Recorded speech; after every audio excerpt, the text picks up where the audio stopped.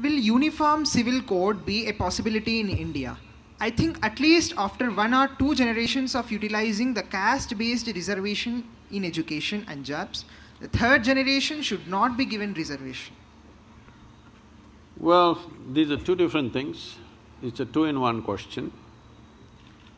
Uh, uniform civil code, is it a possibility? Well, we must make it possible. As long as you have a nation where different people have different rules, you will keep people different. If you want to make all of them Indians, there must be one law in the country. There is no other way you can integrate a nation. One law for you, one law for me. Definitely we will be two separate people, we will never identify ourselves as one nation. So we are continuously facing this problem, but we don't have the courage to fix it, it's time to fix it. Reservation is another matter. I know there is a lot of resentment among the young students. I didn't get the seat, somebody with lesser marks got the seat, all these things. But we must understand this, we have treated a whole mass of people in this country for thousands of years like subhumans. Even today, if you go into the villages, they cannot draw water from the same well, they cannot drink tea from the same cup in a restaurant, it's separate. They cannot walk through certain streets, they cannot walk in front of a temple, their dead bodies cannot go through the village.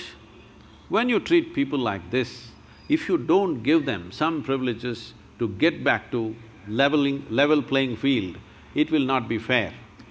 But at the same time, entry point reservation should be there, promotion point definitely has to go, both in employment and in education. You give them entry, but do not promote them without the necessary credentials.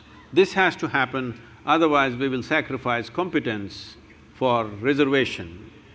Reservation is an unfortunate situation in the country because we have created a thousand years of unfortunate discrimination. To level the discrimination, this effort, have we succeeded in this in the last seventy years? Well, a lot of people have moved out of that trap, caste trap. But still, there is substantial amount of population still stuck there. So, as time goes by, we must calibrate the reservation. For different regions, it may be different. How it is in Tamil Nadu, how it is in Bihar, how it is in Gujarat, it's different.